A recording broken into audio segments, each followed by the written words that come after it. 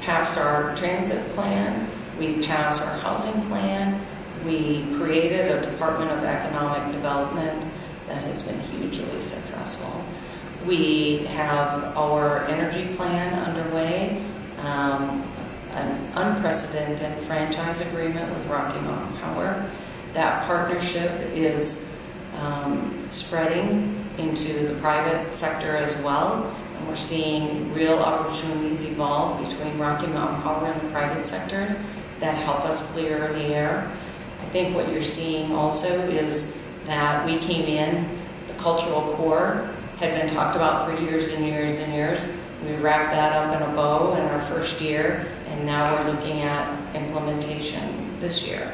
Lots of successes on many fronts. 2018, we're looking at infrastructure.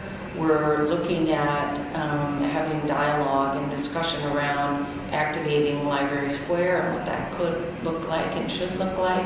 How do we make that space what it really could be? And then also looking at what is called implementation. Because now you have all these plans, and now you have to implement them. And you'll see us implementing the cultural core plan, you'll see us implementing the transit plan and our housing plan. It's been a very exciting two years. We've accomplished a great deal, and you know, I would say we're at an A minus. We haven't um, really struck a chord on everything that I wanted to do, um, but I know I have two more years to work on those things, and so we'll keep working.